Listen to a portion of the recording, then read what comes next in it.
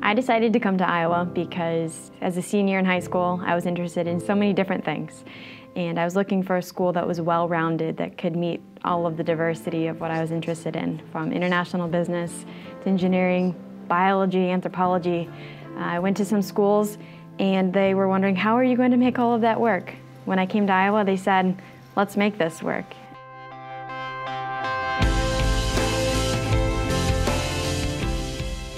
I was looking at the different programs that the University of Iowa offered once I decided I was going to be a Hawkeye. I was getting excited about what I could do as a Hawkeye.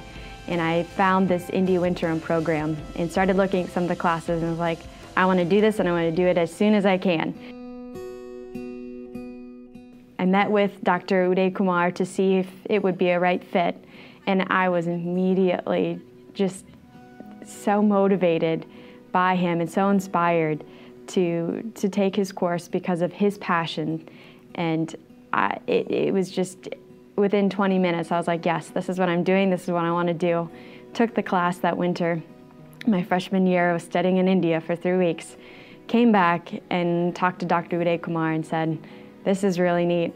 This is an important issue, a very important global and environmental health issue. Can I continue to do this research with you?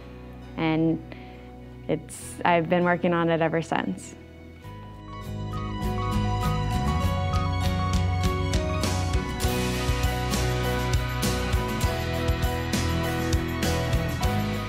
I don't know where exactly I'll end up, but if I'm helping to facilitate change in a responsible manner as an engineer, solving problems, meeting needs, that's what I look forward to doing.